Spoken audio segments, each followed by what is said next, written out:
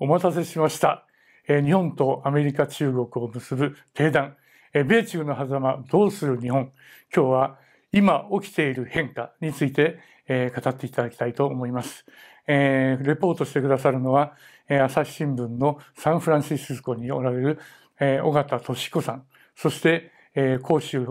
香港の支局長を務めておられる、えー奥寺敦さんです。よろしくお願いします。よろしくお願いします。い。やー、尾形さん、えーいよいよ、えー11月には帰国だということで、えー長くの勤務ご苦労さんでした。今思うともう、尾形さん、ここ3回目だと思うんですけども、このずっとアメリカの西海岸を見ててですね、どんな変化がこの10年、20年の間で起きてるのか、まあ、ちょっと、えー今回、その辺の話から少し始めていきたいと思うんですが、よろしくお願いします。よろしくお願いします。私、このシリコンバレーの地に来たのは2000年が初めだったんですけれども、その時スタンフォード大学に1年留学しまして、そこで来た時はですね、最初はいわゆるドットコムバブルの最盛期、一番最後のところだったんですよね。2000年の夏だったので、まあ、当時は大学に来るのにですね、最初来たばっかりで、近くのモーテルに泊まろうとしたら、モーテルが300ドルとか400ドル、本当にただの、まあ、であんまり綺麗じゃないモーテルなのに、普通の、普通だったら70ドルぐらいで泊まれるところが300ドル、400ドルしてて、ちょっと驚いたことを覚えてます。ただですね、その直後にですね、ブバブルが崩壊しちゃいました、アメリカのドットコムバブルがですね。それで株式市場が下がってですね、1年経って戻る頃にはかなり静かになってきてたんですよね。だからまあその時はやっぱアメリカの一種のダイナミズムとまあバブル崩壊を経験したんですけれども、その後2002年から2005年まであの特派員でここにいまして、当時はやっぱりグーグルなんかが出てきてですね、上場するような時期、まあ、シリコンバレーがもう一度勃興してくるような時期だったんですよね。で、今回は2018年から3年余りあのここにいるんですけれども、今回はまあシリコンバレーの勢いが世界に非常に大きくあの影響を与えていて、まあ、一種爆発的な影響と言っていいと思うんですよね。で、ちょっと世界のですね、あの企業のランキング、時価総額のランキングっていうのを見ると、今、世界トップ10のうち8位まではですね、西海岸の企業なんですよ。ですから、まあ、いわゆる日本でいう GAFA とかですね、マイクロソフト、テスラですね。で、残りの2つは何かっていうと、あの、テンセントとかアリババとかですね、そういったところなもんですから、そういう意味では、世界の今、経済を動かしている震源地は西海岸に移っていて、そこのダイナミズムと影響のあまりの大きさを感じていますよね。逆に戸惑うぐらいの力になっているというのが正直なところです。なるほど。あの、2000年にアメリカに、こう、ちょうど行かれたというんですけど、その頃やっぱり大きな転機ですよね。だって、それ、それ以前の20世紀のアメリカっていうのは、どちらかというと自動車産業とか、石油産業とか、金融とかっていうのが強くて、えーどちらかというと東海岸に比重があった。でもそこが、まあ日本がいろいろ追い上げてきて、20世紀末っていうのはいろんな混乱っていうかアメリカも大変なことになったと思うんですが、徐々に体制を立て直して、21世紀の初頭頃から IT、まあそう今でいうテックですよね。こういうものの足がかりをつけて、アメリカの中でも大きな地殻変動が始まった、そんなような時代だったってことでしょうか。そうですね。アメリカのまあテック産業が大きく、まあ、特に大きくなって、それはパソコンが普及した頃からだと思うんですけれど、まあ、1980年代ですよね。アップルとかマイクロソフトが出てきて、その頃から世界に影響を及ぼしてたんですけれども、世界経済全体で見ると、例えば2000年頃の時価総額のランキングを見ると、例えば GE とかですね、東の企業がたくさんいると、石油企業とか、そういうのがいっぱいいて、やっぱりそこは主役の一人ではありましたけれど、中心とまではいなかったと思うんですよね、ここが、西海岸がですね。それが、まあ、今や西海岸が完全にあの引っ張るような状態になっていると思いますよね。で、やっぱり当時思い出してですね、やっぱり90年代や、やはり日本企業の勢いがすごかった時代を私は、まあ、記者としても経験しているので、そういう中でアメリカでですね、2000年から来たときに、まあ、インターネットのバブルが最初に弾けてですね、弾けたということはその前にインターネットのバブルがあって、そこからかなり盛り上がってはいたんですけれども、一旦静かになった後で、新たに今度は Google だとか、Facebook だとかですね、まあ、Twitter とかそういうところがどんどん出てきていると。そういうダイナミズムっていうのはずっと続いているというのが印象ですね、こちらの。小笠さんが記者を始めた1990年代の頃っていうのは、まさに日本が世界でも、世界の時価総額ランキングでもですね、相当いいいいポジションにいた時代でしたよね。そうですよね。この前ちょっと調べたんですけれども、90、1990年ですね、その時価総額ランキングは、トップ10のほとんどを日本企業が占めてるんですよね。うん、まあ、だからこそ日本こういう色が出てきてですね、日本叩きにもつながっていったわけですけれども、まあ、日本叩きは1980年代からではありますけれども、90年頃はやっぱり金融の力がすごく強くなって、日本のですね、うん、そういった中で非常に脅威論というのが出ていたと。そういった中でこれ見ると、ね、あの日本あの NTT が一番上にありますけど、その次は三菱、えーえー、三東京三菱ですよね。その次が工銀で、その次が三井住友で、えー、富士銀行があって、第一勧業銀行があると、いわゆる日本のメガバンクの、まあ、前身、前身ですよね。それがもうほとんど90年代は世界の時価総額のトップの、トップ10にいたということですね。これ見るとちょっと驚くのはやっぱりね、30年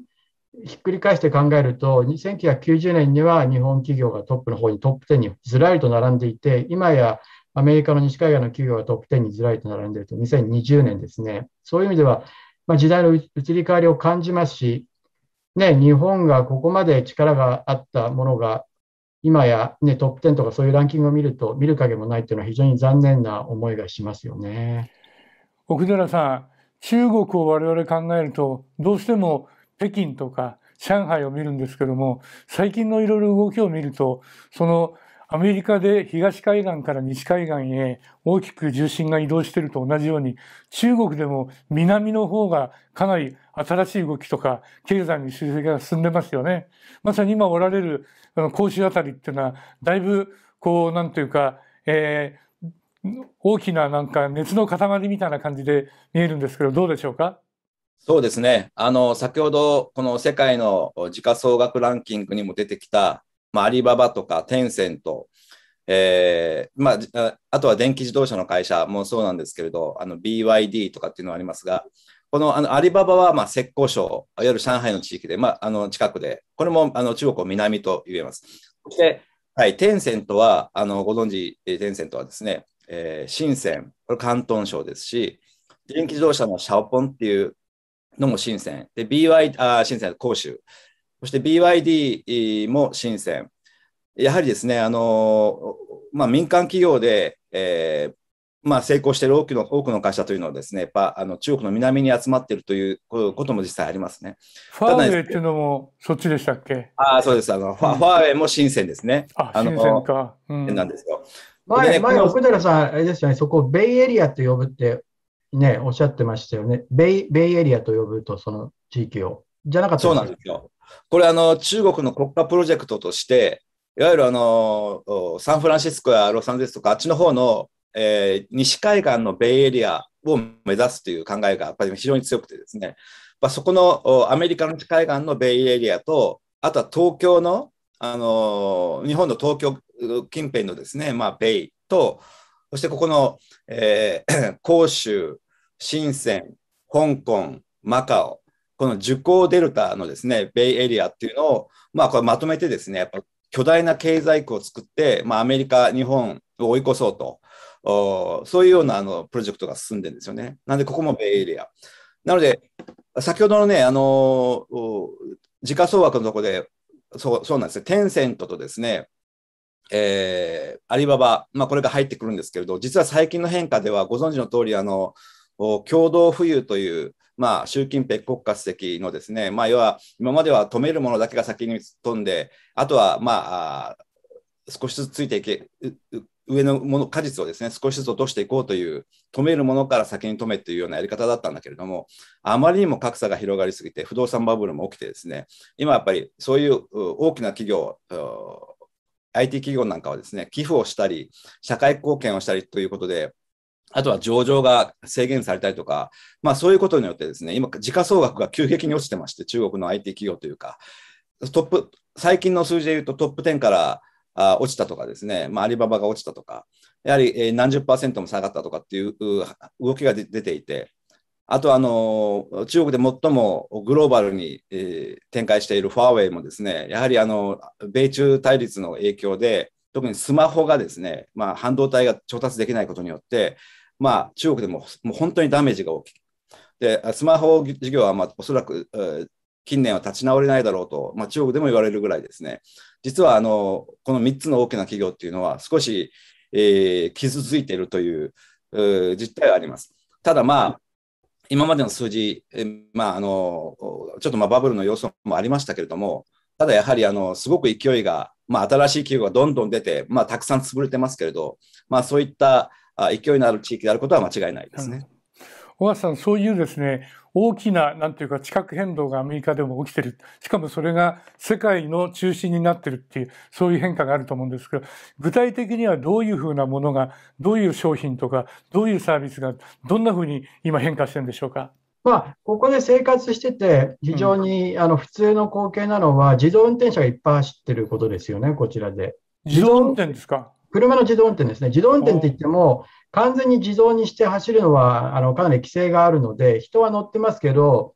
あの、こう、あの、ステアリングホイあのホイールに、こうね、あの、ハンドル、そう、ハンドルにあの手をかけないで運転したりとか、ほとんどハンドルに触れてるだけみたいな感じで運転してる車がたくさんありますね。まあ、やってる車は全部、ウェイ、Google のウェイモであるとか、クルーズっていうあの会社であるとか、みんな、あの、非常に車にちゃんと書いてあるので、どういう車かわかるんですけれども、で、みんな上のところに、このライダーっていう、うん、あの、こう、あの、距離がわかるですね、立体的に周囲の状況がわかる、あの、レーダーみたいなのを積んでるので、で、わかるんですね。それがたくさん走ってますね。最近はサンフランシスコでもかなり実験をしてるので、あと私の住んでるシリコンバレーの、あの、に、住宅街のすごい狭いところでも今日もすれ違ったりしたので、そういうのが今変化としては、まあ、普通にこの2、3年ずっと続いてますね。だから、まあ、未来がだんだんどういうふうに変わっていくのかっていうのが見えるというかですね。それと、まあ、この前、ちょっと目を引いたのは、アマゾンが新しいあのロボットを発売するということを言ったことですかね。あの今お話聞いてると、車がですね、はい、日本のタクシーが上に暗道を置いてますよね。あんなような格好で、その屋根の上にレーダーがあって、それがぐるぐる回った、あれ、自動運転車だって、それ外から見ても分かるわけですね。わかります、わかります。はい。そういうのがポロポロ走ってるわけですか？ポロポロっていうか結構走ってます。なるほど、はい。はい。それは私が来た2年前、あ、3年前から走っててですね、3年前に、まあ、大々的に割と多くやってたのは、ウェイモっていう Google 系のところなんですけれども、その後今は、まあ、かいいろんな会社がやってますね、あの、ここで。それは非常に目立つ光景だし、みんなもう慣れてしまっているというのがなるほど、ねはい、電気自動車化だけじゃなくて、自動運転化までも今、だんだん普及の段階に入っているということですね。そうです。あの、うん、ウェイモはアリゾナでサービスをしていますし、その商用サービスにも入っているので、かなり進んではきている状態です。あとは、うん、テスラがですね、かなり自動運転に力を入れていて、うん、でできるだけ早く完全自動運転を出したいということは言ってて、まあ、ずっと遅れに遅れてはいるんですけれどもね。テスラは EV ってだけじゃなくて、やっぱりね、自動運転、まあ、いろんな形で事故も起こったりして、物議は醸してるんですけれども、かなり商用化っていう意味では進んでますし、例えばここで車で運転しているサンフランシスコ行くときとかですね、横にテスラの車が来ると、みんなハンドルになかって、これ、こんなふうにかけてるだけみたいな人が結構多いですね。うん、そうすると、日本だと、その EV 化っていう、まあ、掛け声はかかってるけど、なかなかそういう車がその市場に出てない。一方で、そんな自動運転なんてのはごくごく限られたところでね、例えばオリンピックの会場ではちょっとやってたとか、それからどっか特別なところで社会実験やってるという感じで、ごく稀なんですけども、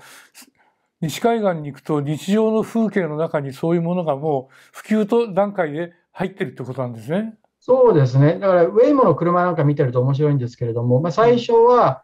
あの、実験車みたいなものだったのが、次にね、クライスラーの車になって、今はジャガーのかなり高級な SUV にその大きい装置を積んで走ってますんで、目立ちますよね。ピカピカのジャガーの大きい車が何台もサンフランシスコの街をあの走ってるので、非常に。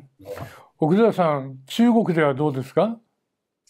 自動運転の車が街中を走っているというのは、あの、見かけないというか気づかないんですけれど、ただ、あの、自動運転の開発というのが、まさしくこの広州や深センを中心に、えー、すごく進んでいる。で、そこにあの、トヨタが、あこっちの地元のスタートアップ企業に投資したりとかですね。まあ、そういった意味で、あの、もうアメリカを一生懸命追いかけてるっていうのが、まあ現状ではないないでしょうかね。あの、まあ現時点ではですね、まあその自動運転というよりも、もうおそらくアメリカよりも変化が激しいのは、まあ、EV、電気自動車の普及の速さ。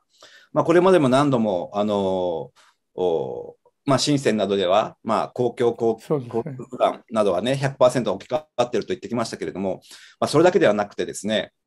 えー、まあ、まずあの昨年と高級車の高級車というか、まあ、日本でいうと、日本よりは安いんですけれども、テスラもあの上海で作り始めて、えーまあ、日本よりも100万円から150万円ぐらい安い金額ということもあるんですけれども、まあ、大体日本円でいうといくらぐらいですか？えーとですね、400万円から450万円ぐらいでしょうかね。それぐらいであのテスラが買えるんですか？そうなんです。だから面白いのは、えー、中国では、例えば同じトヨタの車を買おうとしたら、日本よりも高いんですよ。日本よりもやっぱり3割とかぐらい高いんですけれども、逆にテスラの場合は、上海にメガファクトリーというあの大きな工場を作って、でそこにサプライヤーも集めて、えー、サプライチェーンを作ってですね、そして、まあ、中国からヨーロッパに輸出するという、まあ、そういう戦略を立ててるんですけれども、そこで出している車がですね、まあ、あの日本やアメリカで買うよりも安い、ちょっとモデルが違うんですけれども、まあ、安く売ってるんです。まあ、それがだからやっぱ若者を中心に、まあ、爆発的に売れていてですね、特にあの広州とか上海とか、あまあ、北京とか、そういう大都市では、やはりあの街中のスーパー、あそうねまあ、デパートとかスーパーの中にテスラのショールームがまああちこちにあって。あちこちあちこちにあるんですか？まあ、あちこちありますよ。あの本当、駅とか、あの家の近くにもありますけどスあ、デパートとかの、いわゆる1階のすごくいいところに、えーまあ、テスラの普通の大きなショールームショールームというか、売ってるとこもあればですね、本当にあの、えー、ちょっとしたスペースに車4台置いて、まあ、いつでもあの予約ができるというような形を作っててですね、市場予約をするとかですね、まあ、それぐらいやっぱりそのテスラは、まあ、あの若者には人気であると。なんでそんな人気あるんですか？やっぱ新しいものが好きなんですかね？まあ、基本的にやっぱり車はですね、あの、うん、まあ、中国のメーカーもすごく、あのー、まあ、台頭して広がってるんですけども、やっぱり、えー、信頼性だとかかっこよさ、特にテスラの の車は、あの、EV の中でもやはり EV ってやっぱりそんなやっぱり選択肢が多くないので、あの、やっぱり圧倒的にかっこいいというふうに思っていて、あの、中国の電気自動車もあるんですけども、やはり人気があるのはね、正直お金出して乗りたい、乗りたいってことであればですね、やっぱあのテスラ買いたいっていう人が多いんですけれど、ただ、その、その層の人たちだけじゃなくて、いわゆる農村の人たちも買えるような、日本円で50万円以下の車、あの EV っていうのもどんどん出てですね、これが、まあ、昨年はテスラを抜いて、えー、圧倒的一番になったんですよ。あの、広州チワン族自治区の、まあ、三菱っていう、あの三菱じゃなくて5の菱なんですけどね、そこはあの GM とジェネラルモーターズ、そして上海自動車との合弁会社として今やってるんですけれども、えー、まあ、そこもあのいわゆる独立系の自動車会社としては、まあ、中国ではまああのトップトップクラスに入るような、まあ、台数を出している会社なんですけども、そういうところが出している大衆車、こちらも売れてですね、いわゆるそこそこ高いところと、いわゆる普通の人たちが買えるところっていうのが、まあ、両方から広がっている。そして、特に今年に入ってから、あのその勢いがすごく伸びていてですね、えー、2021年の販売は、まあ、昨年度比40%増というふうに、まあ、言われてるんですね。そして、えー、特にこの6大都市で、えー、売られた今年の新車の1あの今年上半期ですですね、あの20%が新エネまたはあのハイブリッドだったと。なんでかっていうと、やっぱあの政府がこうやって誘導してるんですよね。一つは補助金、まあ、大した補助金じゃない、あの20万円とかですね、まあ、10万円、15万円とか20万円の補助金を出しているということと、あと何よりも、あの大都市ではナンバープレートが取れないんですよ、ガソリン車の。で、取るためには、上海だと150万円とか130万円とかぐらいのお金を出して、オークションで買わなきゃいけない。うんそれが EV だと、あの、すぐに無料で発行される。まあ、てあの手数料だけで。というような形でですね。ハイブリッドだとどうですか？え？ハイブリッドだと。ハイブリッドはね、あの、ダメです。ただ、プラグインハイブリッドだと、あの、緑のナンバーが取れるわけですけど、ハイブリッドは、あの、グリーンじゃないですね。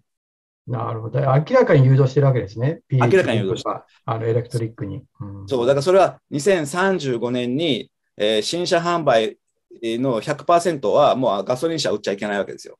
で、半分は EV。で、半分は、あの残りの半分は、あのハイブリッドなわけですね。このハイブリッドは、プラグインだけじゃなくて、普通のハイブリッドも入ってますけど、いわゆるガソリンだけで動くエンジン、あの動く車っていうのはもう35年には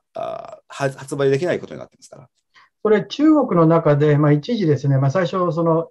新エネ車で電気自動車っていう感じでやってたのが、その後で、まあ、ハイブリッドもいいよみたいに入ってきて、少し揺り戻しがあったように見えたんですけれども、それはやっぱり今の流れを見てると、より電気自動車化、ハイブリッドを含まない電気自動車化の勢いがどんどん進んでるっていうことですか、今？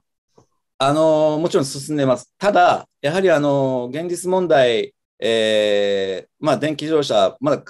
解決できてない問題がいくつかあるので、例えば、あーやっぱり電池の長持ちですよね。うんここでやはりあのタクシーとか、いわゆる中国版ウーバ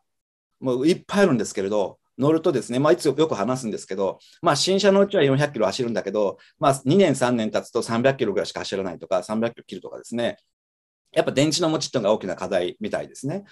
あとやはり、あの、中古で売るときに価値がやはり、えー3年、5年経つと、まあ、ガソリン車だと60%から70%ぐらいの価値が維持できるけれども、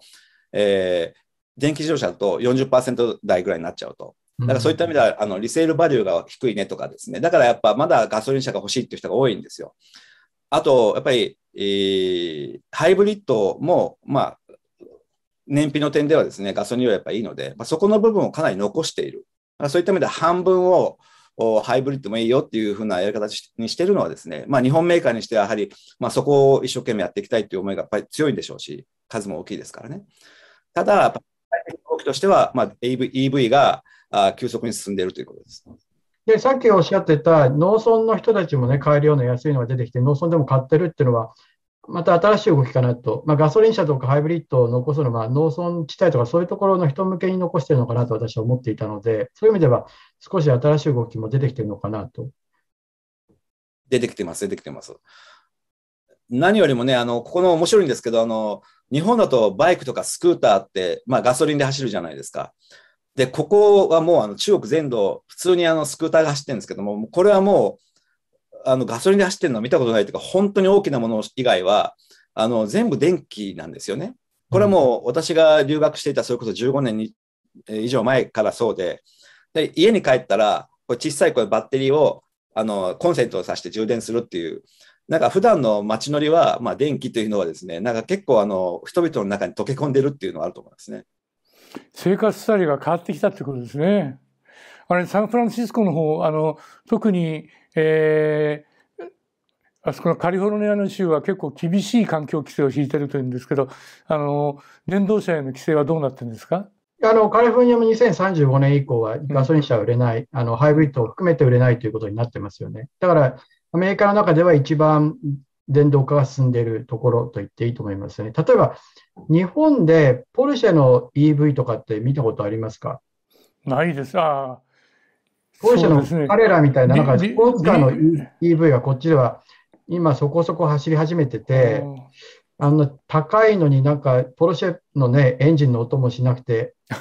なんか奇妙なキューンって音でこの前もそばを通ってったんで、うん眺めてたんですけれど、まあでも、こちらのお金持ちの人たちは、そういうのでもどんどん買っていってる。だから、同時車なんかは割と EV 化進んでいて、BM は遅れてるんじゃないかとか逆に今言われたりしてるんですけれども、うんフォルクスワーゲンはかなりそちらに舵を切ってますし、まあ、世界の自動車メーカーは相当い EV 化っていうのは進んでますよね。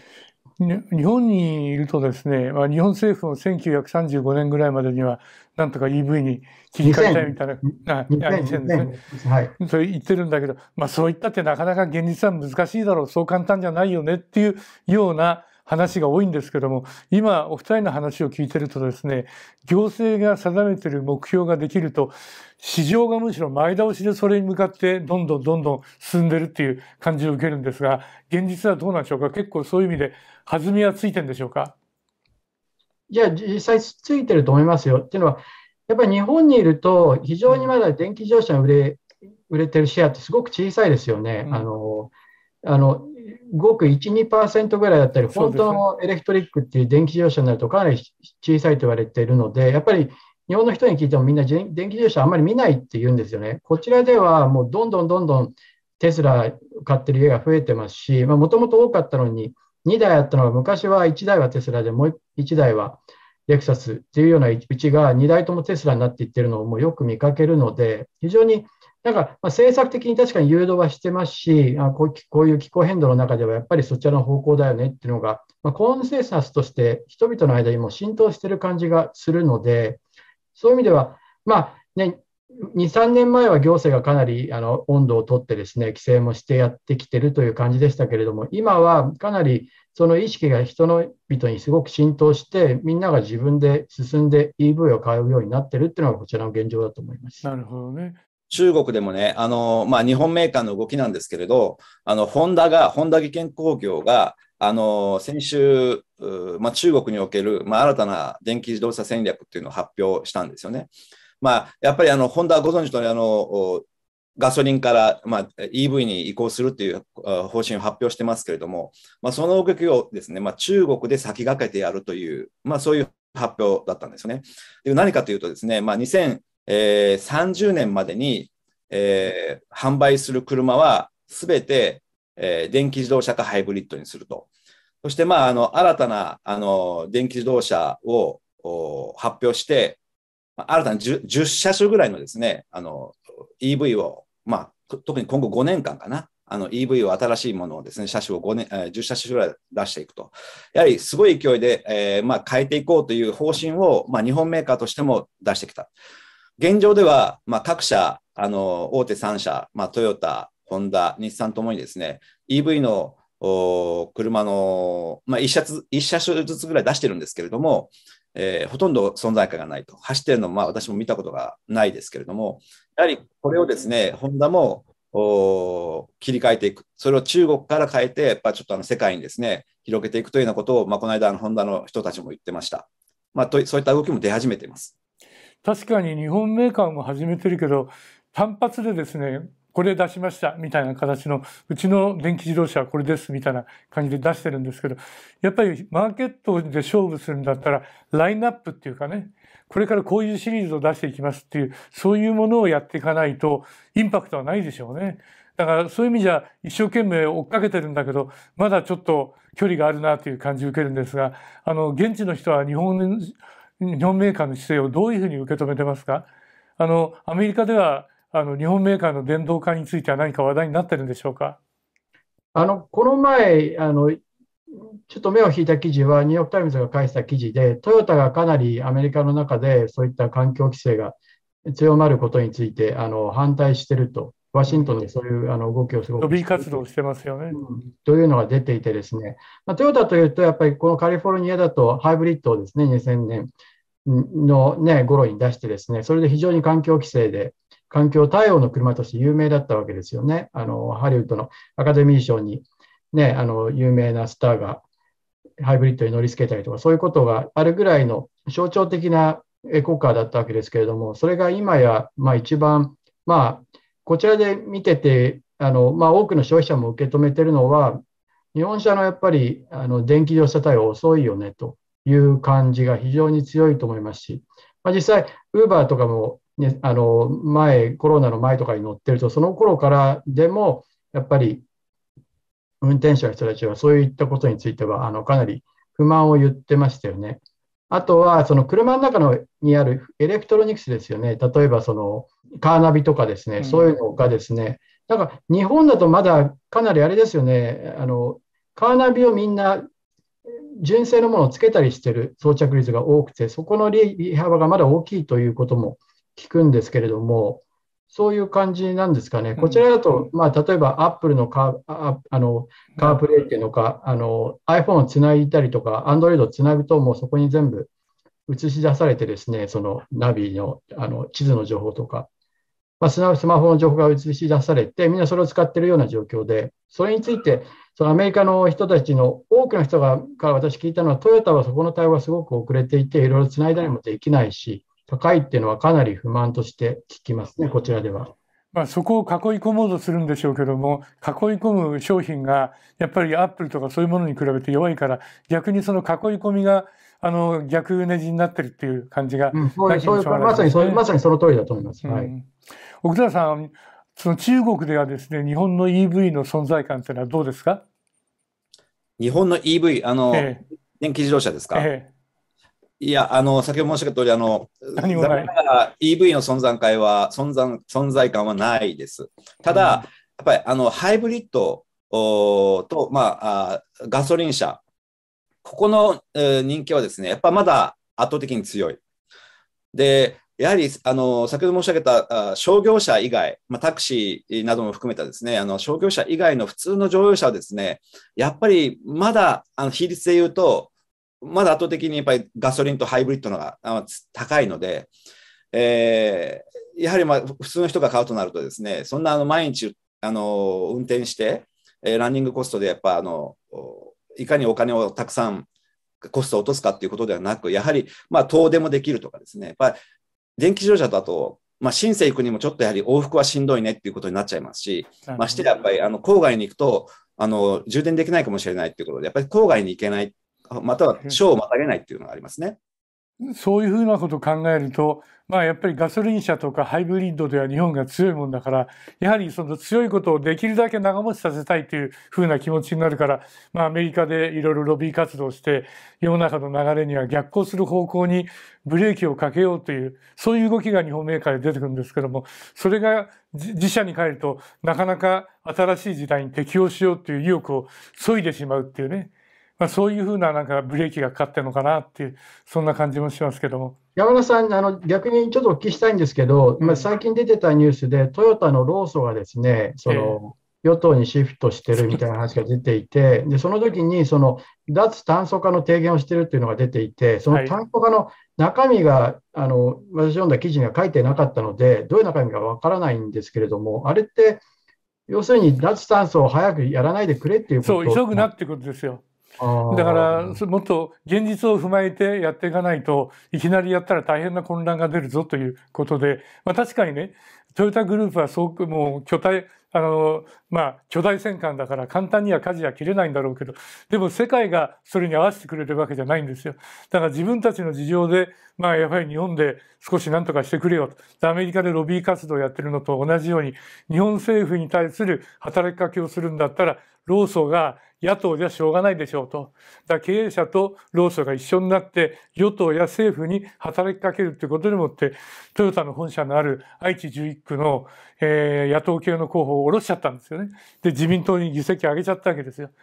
だそういう形で物事が動いてるんだけど、まあ、確かに気持ちはわかるけどもそっちは方向としては逆じゃないかなと私なんて思うんだけどでも諸労使一体となって、まあ、逆に言うと今の時代に向けてブレーキをかけようっていう方向に動いてる。だからこれはちょっと、あの、自殺行為じゃないかなって感じもするんですけどもね。あの、この話、はい、続けるとちょっと長く、長くなっちゃうんで、はい、最後一つだけですけど、あの、要は、まあ、日本の戦略、まあ、中国で見てるとですね、先ほど申し上げたように、まあ、テスラをはじめとした一部の高級車部類と、いわゆる中国メーカーを中心とした、まあ、比較的安い、えー、低価格のもの、にやっぱり二極分化してるわけですけどやっぱり圧倒的にボリュームが大きい真ん中の普通の乗用車とか SUV だとか、ここがですね、やっぱまだ、えー、ガソリンとハイブリッドの牙城なんですよね。やっぱりそこを、おまあ、いかにその、やっぱり日本のメーカー考えているのはですね、やっぱりそこに合わせて、えー、これから先 EV を投入していって、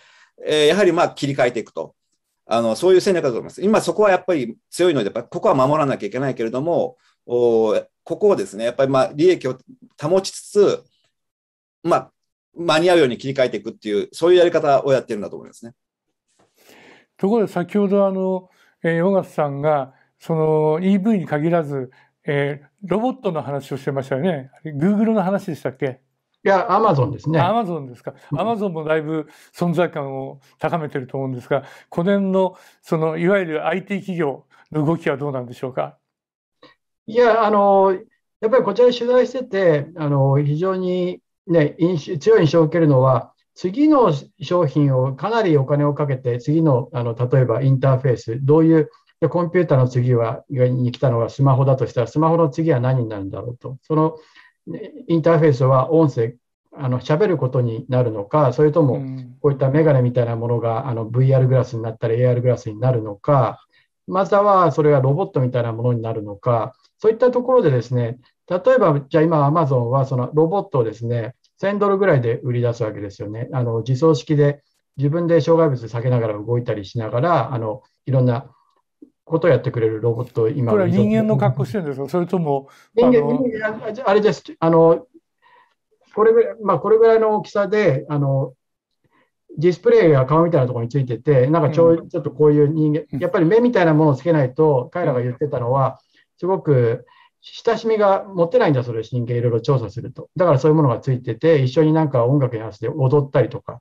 まあ一種言ってみれば、あの、ペッパーってすごく大きい、うん、ありましたね。よね。あれのもうちょっと簡易版みたいな感じで、で、ただ一方で、AI, AI については、人工知能については Amazon があれだけ AWS っていうですね、クラウド事業で世界トップのところでやってるものがあるので、そういった機能が中に入ってるロボットなので、で、いろんな形で動いたりですね、その走り回ったりするので、それはそれでかなり、これからロボットがですね、家庭に1台、今後10年、20年考えたときに入っていくと、その先駆けになるだろうと、先駆けにしたいという思惑のようですね。で、Facebook が何やってるかっていうと、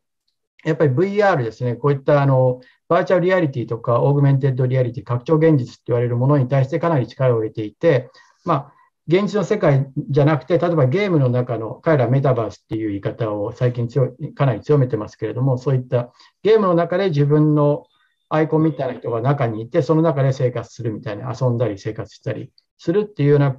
世界を彼らは想定していて、かなり VR にはお金をかけてますよね。で、Google はやはりかなり AI が中心になると、まあ、どこに行っても AI っていうのはその中心にあるし、AI を彼らの開発を強めること、例えば、まあ、量子コンピューターなんかもそうですけれども、そうすると、それは検索にもつながるし、いろんな彼らのソフトをあの高めることになるので、そこにかなり注力をしてますよね。そういった意味では、今、ね、あのいわゆる GAFA とかアメリカでいうビッグテックはかなり、まあ、過去最高益みたいなのをずっと更新していてですね、それもすごい規模で更新しているわけですけれども、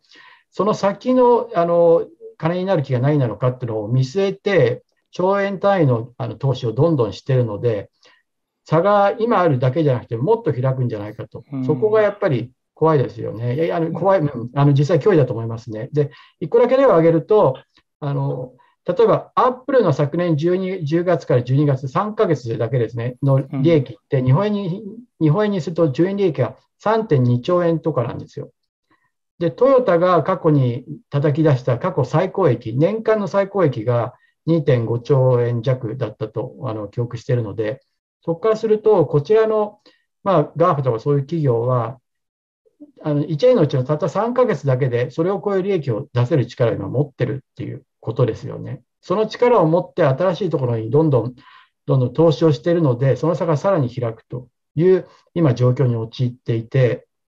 そこはあの取材をしてて、やはりかなり脅威を感じますよね。で、彼ら自身はお互いの、お互いがライバルなので、GAFA なら GAFA の間同士がライバルなので、そこの間で一種、まあ、巨人同士の戦いみたいなことをしていて、まあ、唯一のライバルっていうと中国の例えばアリババとかテンセントとかそういうところと最終的には争うのかなという感じも彼らにあるのでそういう意味では、まあ、日本の企業と常に差がついてますけれどもその先に向けた投資をしてるっていう意味でも今後さらに差が広がるんじゃないかというのが非常に気がかりに感じます。ポイントは2つですね。1つはスマホの後何がこれから社会のニーズを引きつけるこの商品になっていくのか、ね、まあ、一つがロボット。一つはバーチャルリアリティ。もう一つは AI の活用のさまざまな、まあ、言ってみりゃそういう電脳空間ですよねしかもそういうところにものすごく稼ぐ力があるような巨人たちがどんどんどんどん金を投じていくそれが今アメリカの西海岸でガンガン起きてる現実ですよね。そうすると日本も確かにロボットだったら我々だぞと言ってるんだけど、どうもなんか迫力が違うような、確かに日本は細やかなロボット文化ってのはあるんだけども、これだけの大きな世界の、なんていうかダイナミズムについていけるのかなっていう、ちょっと心配なんですけど、中国はどうでしょうか、ものづくりを引き受けたり、安く作る技術とか、まあ、それだけの爆発的な市場を持ってる強みがあるんだけども、先端のそういうふうなイノベーションは今、どんな感じなんでしょうかね？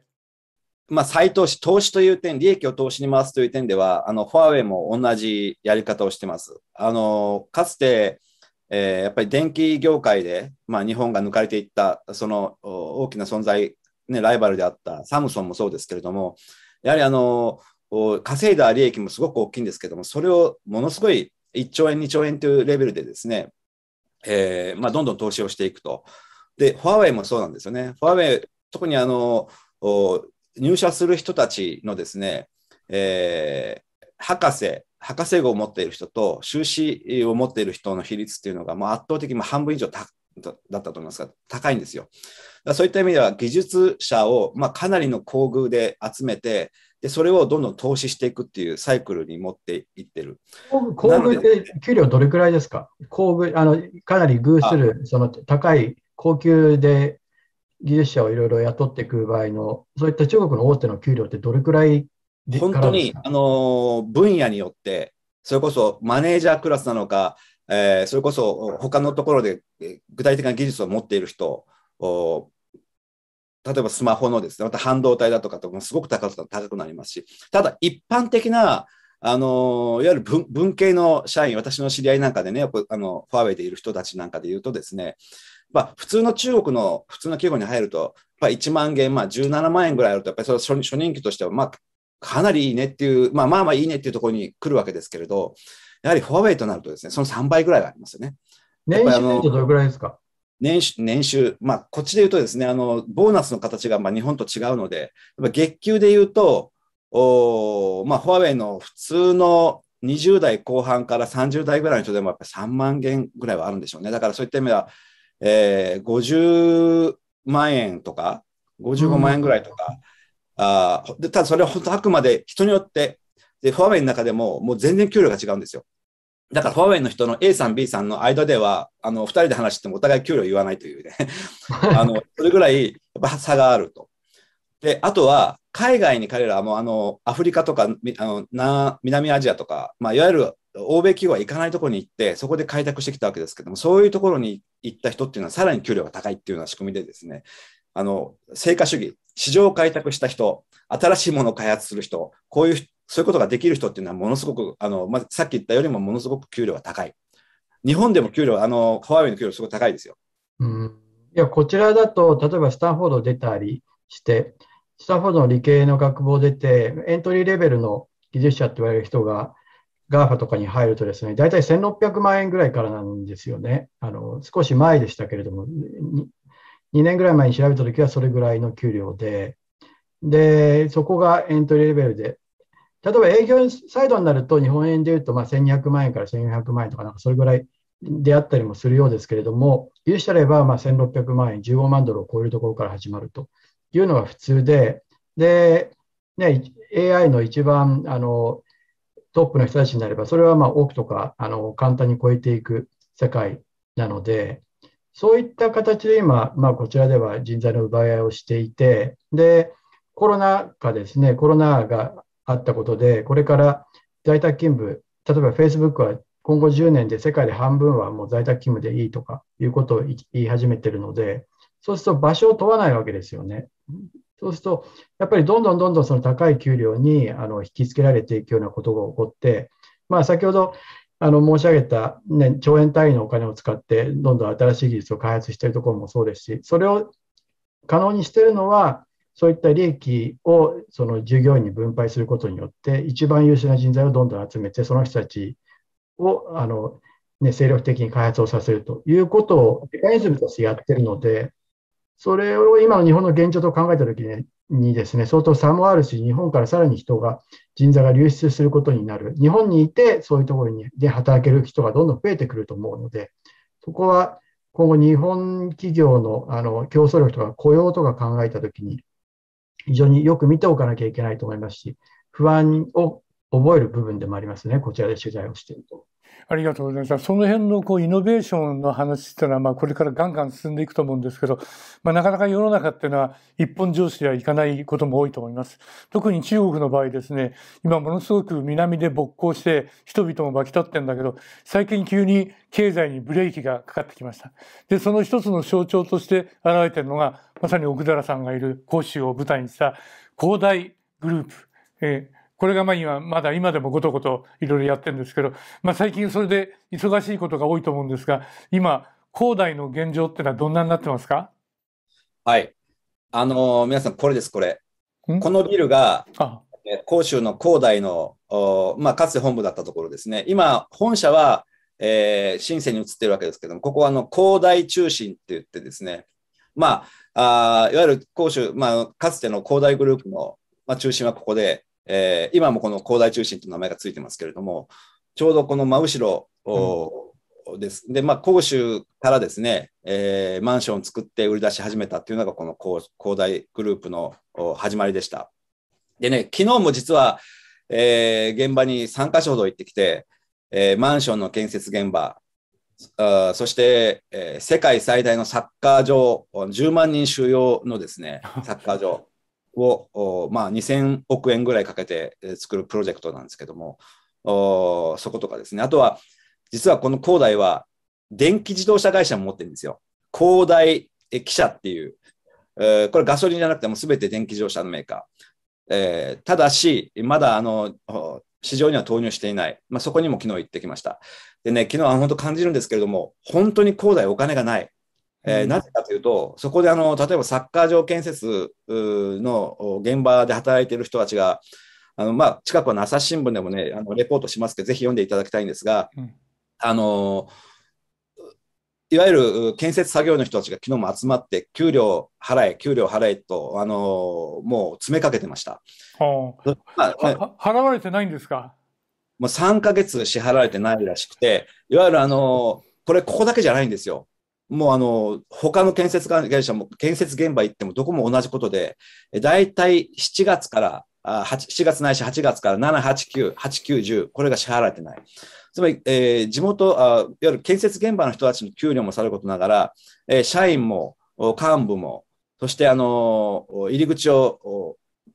まあ、門のところに立っている警備員の人たちも、大体3ヶ月支払われてないというわけですね。で、建設が止まっているのも、いわゆる建設会社への支払いができない。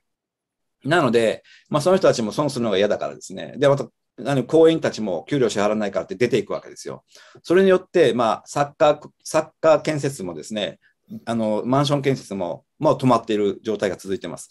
ですから、あの、今、あの、まあ、23日、9月23日、先月のですね、に、社債の償還期限っていうのが、まあ、国内と国外とあって、国内は払ったんだけれども、えー、米ドル債っていうのは、まあ、1か月後の10月23日までに支払わなきゃ、まあ、デフォルトと扱われるっていう仕組みになってるんですけれど、うん、それが、ですね、あさってなんですよね。うん。で、えー、昨日ニュース流れましたけれども、あの香港でいわゆる恒大グループのですね、あのわゆる不動産管理などをする会社の売却を進めて、売却交渉をしていたんだけれども、まあ、それがうまくいかなかったと。金額面とか、いわゆる法律の仕組みの問題で、規制の問題でうまくいかなかったっていう発表があったんですけれど、まあ、それで3000億円ぐらい調達しようとしていたのが、あまあ、うまくいかなかったっていうことでですね、じゃあ本当にあの、23日の米ドル債、大した、あの、そんな大きな、それからするとですね、あの、90億円ぐらいだと思いますけど、100億円いかないぐらいの規模。で、これが払えるのかどうかという問題が実はまた再燃していて、えー、それだけじゃなくて地元のあの建設作業のもう建設も止まってるわけですよね。やはり工事代金が支払われない、給料も支払われない。で本当に現場にいて、恒大お金がないんだなっていうのを昨日も実感してきたところで、えー、深刻ですね。その話ってまるで日本の中小企業のですね、あの、映画の寅さんシリーズのタコ社長が資金繰りがつかないんで、もう友子が走り回って泣いてるっていう、あの姿をものすごくでっかくしたような話なんですけども、まあ、タコ社長の場合はですね、倒産すりゃそれで終わりなんでしょうけど、恒大グループは資金繰りがつかないから、まあ、じゃあ、だまあ、倒産だろうっていうほど簡単な話じゃないと思うんですよね。えー、中国の政府も、まあ、あまりこれには、この、バックアップしないような風にはなってるんだけど、だけどこれ放置したら、中国経済大変なことになりますよね。その辺はどんなになってるんですか、実際。あの、大きすぎて倒せないって話は、やはり中国でもあるんでしょうかね。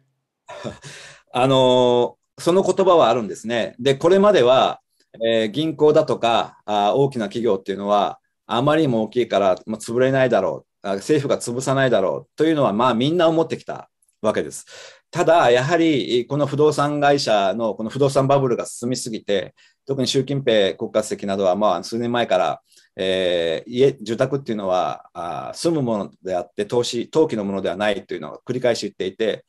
で、あの、共同富裕っていうね、まあ、みんなで豊かになりましょうっていうあの新たな方針が出されました。これまでは、まあ、鄧小平さんからですね、まあ、止めるものから止めなさい。で、えー、貧しい人たちはそれのおこぼれというかですね、上から下落ちてくるので、えー、全体をあの底上げするっていう考え方だったものがですね、あまりにもこの格差が空きすぎて、やはり不満があふ、まあ、大きくなって、社会の歪みが深刻になってきたということで、舵を切ったわけですね。それから言うと、このいわゆるバブルの典型的なあやり方をしていたこの恒大集団を救うっていうのは、まあ、社会的には難しい、政治的には難しいです。ただし、これをこのまま放置すると、やはり中国経済、世界経済にも影響を与えちゃうので、これはあの、恒大の資産、負債、これも今、政府が管理している。そして、えー、投資あ、ここに融資している銀行も、まあ、政府の管理下ですので、やはりこのどのようにして、えー、処理をしていくかっていうのはですね、やっぱりこの中国共産党のやり方にかかっていて、これやはり日本とかアメリカとか、いわゆる市場で動くのとは全く違いますから、で政府が出しているメッセージっていうのは、やはりあの銀行も協力しなさいと。えー、まあ、要は処理はするかもしれないけども、やはりここはあのショックを抑えましょうっていうやり方を一生懸命やっています。で、これまでのまあ、倒産したというか、あのデフォルトを起こした企業っていうのは中国でもまあ何社か大きいのがあってですね、えー、海南航空、今年の1月だったと思うんですね。これもすごく大きな集団なんですけれども、あのヒルトングループとかも傘下に持ってました。で、これもやはりすごく時間をかけて今、あ再生をやっています。だそういった意味ではですね、この恒大もやはり政府がですね、えー、損をさせるところ、そしてまあ、住宅を買った人たちはなるべく損をさせないというようなやり方をうまくやってですね、まあ、ソフトランディングを目指しているということなのがですね、今の中国で起きていることだと思いますね。一言で言うと、国家管理で時間をかけながら仕分けして、まあ、言ってみれば解体していくという、そういうふうな方向なんですね。うまくいきゃいいけど、どっかでこう、そのハンドリング間違えると火を吹く可能性もなきにしもあらずとと思うんですけど、基本的には住宅を買った、まあ、善良な市民については保証してやるけども、理財商品買ったり、投資したり、これで大儲けしようと考えてる人たちには泣いてもらうよっていう、そこはちゃんと分けますよっていう政策なわけですね。おっしゃる通りですね。あの、やはり不満が高まってはいけないので、で社会不安を最も恐れてますから、やはりあの住宅を買った人たち、この人たちは、まあ、きちんと工事をあの続行させて、政府管理下で、ちゃんとお金を、ちゃんとね、恒大に回すのではなくて、恒大が持っているお金をですね、まあ、建設に回して、で、引き渡しをすると。まあ、これは、やはりやりましょうと。ただ、あ投資目的で、えー、理財商品を買った人だとか、または、あの、まあ、国有企業もそうですけれども、無節操に貸し続けた人とかですね、やっぱこれは、まあ、あ泣いてもらうしかないねっていう、多分そういう整理になると。で、それが国有企業とか、ね、そこに売却する形になるのか、名前を残して縮小してやるってことになるのか、まあそこはちょっと分かりませんけれども、まあいずれにせよ、まあ痛みを伴う、まあ恒大にとっては痛みを伴う。で、経済にとっては、まあやはりなるべくソフトランディングでっていうやり方を今目指していると思います。なるほど。奥寺さんにちょっと伺いたいんですけど、その足元の中国経済なんですけども、つい最近ですね、中国の最近の、ね、最新の GDP が4.9%増だったというのが報じられたばかりで、こちらでは中国、これまでいろいろコントロールしながら減速させたりとかしてきたけれども、コントロールさせない、自分でたちでコントロールしないでここまで減速したのは初めてなんじゃないかと、ちょっと予想しないことが起こってんじゃないかというような受け止めがこちらでは、アメリカではあるんですけれども、中国の中の受け止めと足元の中国、何かちょっと今までと違ったことが何か起こっているとかあるんでしょうか？一つは、あの、最近、皆さんもあのニュースでご覧になったと思いますけれども、中国の電力事情ですね。やはりあの、特に9月の半ばから下旬にかけて、これちょうどあの半期の最後に当たるところだったということもあるんですけれど、やはりあの広東省でもそうなんですが、えー、1週間のうちに5日間停電しますと。こ例えば工場、工場などにも、工場とかお店にも、えー、1週間のうちに電気をサプライするのは、まあ、5日間だけで2日間だけしか営業できませんっていうようなことを急に通知が来てみんなびっくりしたわけですよ。で、日本の企業もこれ大変だっていうことになって、私たちがいつも普段付き合っている人たちもですね、えー、じゃあ自家発電でやるかとか、例えばもうここはもう生産調整をして休むとかですね、えー、そういう対応を取ったところがあります。これも、あのー、ランクをつけていて、業種とか、国の経済への貢献度っていうものによって、停電のないところもあれば、さっき言ったあ5日間というところもあると。やっぱりそそれによって生産調整というのがまあかなりあったということもありますね。だからそういったのはやっぱり当然経済にマイナスになってますし、あとデルタ株によって、えー、まあ一時かなり広範囲に、えー、経済を止めたという地域があった。まあこれもやはり、えー、ブレーキがかかる要因要因になっていた。あとやはりこの世界的な原材料高。まあそれだから先ほどの石炭が高いということで、えー、まあいろんな、まあ中国国内の産業にも影響を与えてるし、あとオーストラリアとのまあ、対立によって、まあ、石炭が入ってこない、買わなくなっているという、まあ、そういったいろいろな複合的な要因でですね、やっぱ中国の経済にもマイナス要因が増えてきていると、まあ、そういったことが影響していると思います。そういったその市場的な要因とまた別にですね、どうも習近平政権がなんか新しい政府運動みたいなね、まあ、秩序をきちんとするような、なんかそういうような形の動きをしてるみたいで、えー、塾っていうものに閉鎖してみたり、あの、有名タレントの、なんていうかファンクラブみたいなものに圧力をかけたり、まあ、様々としたやっぱり、えー、新しい社会主義、共産主義秩序みたいなものをですね、なんか前面に出して、そうするとそういうことに対して何か規制されるんじゃないかなと思って萎縮するようなムードが一部に漂ってるようなって感じは外からするんですけど、まあ、この辺はですね、これからちょっと見ていきたいと思います。あの、この番組でもですね、引き続きそういうふうな、ちょっとした報じられないような社会的機微みたいなものをいろいろ奥寺さんに報告していただきたいと思います。